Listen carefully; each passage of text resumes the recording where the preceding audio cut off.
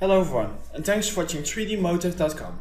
My name is Emiel Sleegers, I'm a 3D environment artist, and welcome to the second tutorial on how to create the Walther P99 hand pistol. So, in the previous tutorial we went over the modeling of our Walther gun, if you have seen it.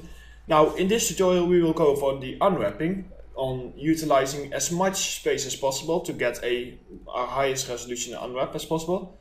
After that, what we will do is we will go into Marmoset Toolbag 3 where we will start with the baking process and we will bake all our maps like normal map, AO, position, curvature and many more maps.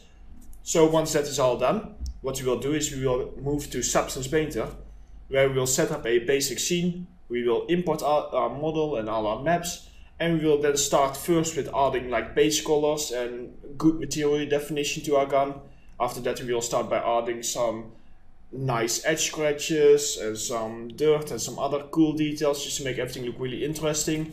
And we will also add some extra normal map details inside of Substance Painter.